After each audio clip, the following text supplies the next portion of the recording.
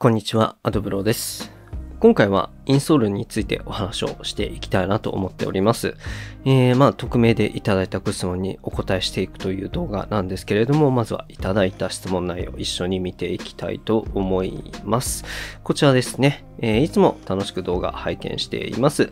質問なのですが、アドブロさんはシューズのインソールは付属のものを使っていますか、えーインソールを探しているのですが、カスタムインソールは高いものだと加工料金含めて1.5万円ほどで、えーシューズと同じ同じくらいの料金になってしまいます。えおすすめのインソールはありますでしょうか、えまたインソールは付属のものでも十分でしょうか、えアドブロさんのお考えをお聞かせくださいということですね。えまあ、インソールについては僕も興味があるうジャンルですので、まあ、今回の質問内容をね、しっかり考察してみたいなと思います。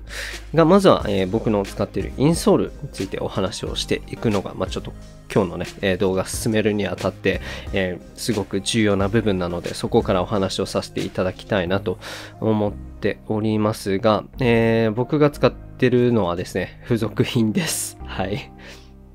で、あの、本当に一時期はですね、インソールいろいろこう買って、えーいろいろ試して比較して、えーそれを、まあ、インプレしようという企画も考えてたんですけれども、最終的に、まあ、資金なんで頓挫してしまってという感じになっております。まあ、やっぱりラケットとか、えーストリングの方に優先的にどうしてもお金を回してるということも ありまして、まあ、なかなか正直、その、気づいたらね、新製品出てたりして、えーそれ買っちゃってっていう感じで、まあ、なかなかインソールまで手が回ってないと。えーましてやこう比較するために複数買うとかっていうのは、えーできてないということで、まあ、結局、いつも付属品を使ってますという状態になっておりまして、まあ正直ここは課題だとは思ってます。はい。あのね、カスタムインストールとかおすすめするとかしないとかに関わらず、いずれにしても結局自分で使って確かめないことには、まあどっちとも言えないと思うんですよね。はい。なので、まあ現時点では、まあ付属品しか使ってないんで、まあね、わかりませんっていう感じになっちゃうんですね、という感じではあります。ただ、ただですね、まあ、いろんな人とテニス一緒にさせていただく中でですね、えー周りには当然その、えーインストールを別途購入して使用しているという方もいまして、で、そういう人からまあ話を聞いたりすることも、えーあるので、まあそういったところも、え今日お話しできればなとは思っているんですけれども、あの、まあ僕、千葉県に住んでいるということもありまして、まあ船橋市というところがあるんですけれども、そこにまあ有名なショップさんが ありまして、はい。まあそこにね、友達が住んでたりして、えーまあ、そこに住んでる友達曰く、まあその某ショップのね、影響もあって、だと思うんだけれども、まあ、そのエリアに住んでる方は、比較的そのインソールを買って、えー入れ替えてるっていう人は結構多いよと、多いと思うよと言ってました。はい。あ、そんなんあるんだなと思いながらね、はい。聞いてましたけれども。で、僕自身は、まあ、インソール、えー付属品使ってますけれども、まあ、カスタム含めて、えー今後いろいろ試してみたいなとは思ってるというような感じに、そんな現状でございます。えーそんな中、じゃあおすすめはこういうのがありますという話ができるのかというところなんですが、ちょっとね、えーお話しさせていただきたいのが、まあ、あの、いろいろあると思います。調べていただければいろんなカスタムのインソール出てくるんですけれども、えー僕はですね、以前、あの、中島運動科学研究所さんというところの、まあ、フルカスタムのオーダー、インソールの、えーその計測の、えー様子であったりとか、まあ、そのコンセプトとか、まあ、直接お話をお伺いする機会がありまして、はい、あのーなので、えどういったものなのかっていうのは一応、持ってないけど分かってるという、分かってるというか、一応知ってますよというところで、えーお勧めさせていただきたいなと思います。で、もう本当にフルカスタムで、えーフットプリントですね、その足の接地面を見たりとか、えーダイナミックバランスチェックですね、まあ、側圧だったりとか、その重心移動とか、えーそれをこう、歩いてる状態で見るとか、まあ、ダッシュしてる状態で見るとかっていうのをしつつ、まあ、もちろん足型も取ってくれて、えーそういったのを踏まえて、こう、インソールを作ってくださるんですね。はい。で、しかも、まあ、ただですね、ちょっとね、あのー、撮影はさせてもらったんですけど、えー、結局、まあ、僕の問題で、え、動画にすることができずですね、ちょっとうまく編集ができなくて、ちょっとボツにしてしまったんですけれども、はい。あの、えそれが撮影させていただいた時が多分1年半ぐらい前だったんですね。はい。で、その当時お話を聞いた時は、まあ一応シューズ1足分ぐらいの金額で、えー、作ってもらえるというような感じでした。今も正直ね、いろんな物価高騰とかあるんで、多分金額変わっちゃってる、少し上がっちゃってる可能性は高いのかなと思うんですが、まあ、あの、確認は必要かなと思うんですけれども、えー、ただ、法外に、その 高いものではなかったと。もう本当にシューズ1足分ぐらいっていう。で、あの、それはお話聞いた時にですね、えー、まあ、いろんなね、カスタムシューズあるんですけれども、その中ではかなり安い方でしたと。で、まあ、実際調べていただくと3万円近いカスタムオーダー、3万円近いっていうか3万円超えるようなものっていうのも別に珍しくはないんですよね、インソールって。で、あの、その当時お話を聞いた時、そのシューズ1足分ぐらいの金額、まあ、かなり安いわけですよね。で、そういった金額に設定してるのは、まあ、言うてもやっぱりインソーラー消耗品になってくるので、で、どうしてもこう定期的に買い替える必要があるし、まあ、それこそ体も定期的に変わったりするので、えー、で、その都度、例えば3万円、4万円とかってなってくると、さすがにそれは買い替えが難しいよねっていうところで、まあ、頑張ってシューズ1足分ぐらいの金額に抑えていらっしゃったというお話を聞くことができましたと。まあそういう考え方がもうちょっと僕はグッとくるなと思いましたので、まあ概要欄の方に、えー、中島運動科学研究所さんの、URL 貼っておきますので、えー、各地で測定会とか開催されていらっしゃるようですので、興味ある方はぜひ、予約していっていただければなと思います。で、なんでその当時、あの、オーダーしなかったのかと、撮影だけして、えー、話も聞いて、なんでオーダーしなかったのかっていうと、えー、まあ、最初にも言った通り、万年金欠というところで、どうしてもラケットとかね、あの、え、ストリングとかに先にお金を回してしまうので、はい。っていうのもありますし、まあ、話聞いてても、いや、絶対いいんだろうなと思ったんですよ。いや、これ試したいなと。カスタムするんだったら中島さんのところがいいなと思ったんですけれども、一方で、あの、もう少し先に段階を踏みたいなと思ったんですよね。えー、それこそ、まあ、例えば、アンダー5000円の、えー、普通に自分で買ってカットするだけの、えー、インソールだったりとか、1万円ぐらいで少しこう、え熱成形してくれるやつとか、あね、あの、スポーツ量販店で試せるやつとかっていう感じで、ちょっとね、こう、なんか、なんかわかんないですけど、順番踏んでからやっていきたいなと思っちゃったんですよね。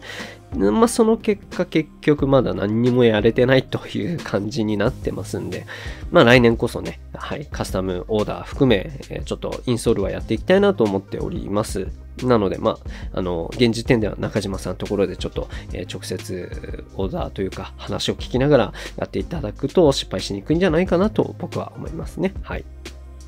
で、最後に、あの、付属インソールで十分なのかどうかっていうところのお話をちょっとしていきたいなと思います。まあ、付属品がベストなのかと言われると、まあそうではないとは思うんですけれども、あの、じゃあカスタム品を買えば何でも言えんかっつうと、そうとも言い切れないとは思うんですよね。はい。で、やっぱりこう、インソールをカスタム品に変えたら、何でしょう魔法のようにその体が動くようになるとか体が軽くなるとかあとはまあフットワークがね劇的に改善して怪我がしなくなるとかっていうのはもちろんないとは言わないですよ。ゼロではないし、それがゼロだったらもちろんやる意味がないんですけれども、全員が全員、その、劇的な効果を感じられるかっていうと、そういうものではないとは思ってますし、まあ、感じ取れるかどうかっていうのも人によってだいぶ違ったりはするんじゃないかなと思います。プレイレベルもそうだし、プレイ頻度もそうだし、まあ、体格とか、まあ、そもそもの体の使い方とか、いろんな要素があるんで、はい。まあ、ラケット、同じラケットを使っても人によって評価が違うのと一緒で、インソールも、まあ、やっぱり人によって全然意見が違ったりするんじゃないかなとは思います。で、やっぱりこう、ツイッターとか見てると、まあ、インストールに関していろんな投稿があったりすると思うんですよね。で、このインストールめちゃめちゃいい。こんな効果がありますよとか、えー、入れた人がこんなに喜んでますよ。こんなに変わりました。まあ、そういう投稿をね、目にすることも少なくないと思うんですよ。で、それを見て期待されるという方も多いと思うし、まあ僕も、ああ、そうなんだという感じでこう、えー、期待するというか、インソールってすごいんだろうなと思うんですけれども、言うてその SNS って、まあ、どうしても特にそのインソールとかって、良くない意見っていうのは表には出てこないわけじゃないですか。まあ買ってみたけど、お金払って買ってみたけど、まああんま変わんなかったよとか、あんまり効果を感じれ、感じられなかったよっていうのはあんまりこう表に出てこない。まあましてやお店がそういう投稿はしないので、はい。いいことだけを言ってるっていう側面も正直、いいところをこう抽出して、えー、目に見える場所にこう出しているので、なかなかこう、現実的にどうなんだと。悪い意見はなかなか目につきにくいっていう側面があるんで、難しいなとは思ってますね。はい。で、実際その、えー、最初の話したんですけど、まあ僕の友達で実際にその1万円以上するような、えー、インソールを購入して使ってるっていうユーザーに話を聞いても、まあ、まあいいような気はするよね、みたいな感じぐらいの反応だったんですよね。だから、それを入れたんで、じゃあ、なんだろうな、怪我しにくくなったのかとか、あフットワークがすごく良くなって疲れにくくなってるだとかっていうのは正直こうはっきりあんまりこうどうなんだろうねみたいなぐらいの反応だったんですよね。はい。で、あとはまあ、付属のインストールに関しては、その靴に合わせて考えられてるとは思うので、えー、誰が、まあ、誰が履いてもっていう言い方あれなんですけど、買った人が、まあ、いろんなね、層が買うとは思うんですけれども、その全体的な平均点っていうのを安定して出せるようには考えられて、えー、使われているとは思います。もちろんそれがベストと言い切るつもりはないですけれども、はい。あの、カスタムで性能を底上げできるんだったらそれに越したことはないとは思いますけどね。はい。あの だからといって付属品が絶対ダメかと言ったら、決してそうではないとは思いますし、まあ、僕、ここ最近すごく感じるのは、まあ、そもそもやっぱりそのサイジング、フィッティングありきの部分もでかいわけじゃないですか。インソールをどれだけこう良くしても、そもそものシューズが合ってなければ、それはあまり意味がないと思いますしね。はい。なので、例えばラケットめっちゃボロボロなのにストリングを最高級品を、えー、最高のストリンガーに貼ってもらってみたいなやるのってなんかアンバランスじゃないですか ねなのでまあ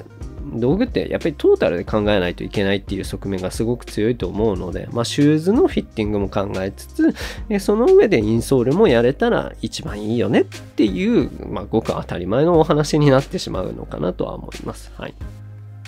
なので、まあ、どうなんでしょうね。まあ、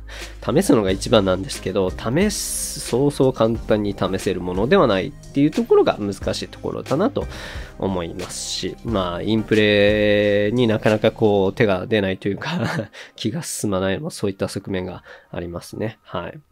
でやっぱりこう、一人一人に合わせて作ってもらうしかないんですけれども、かといってじゃあ、それが合わなかった時、効果を感じられなかった時に全部が全部返品したりとか、返金してもらえるかっていうとそうでもないし、ラケットみたいにじゃあメルカリに出して、まあ最低限のその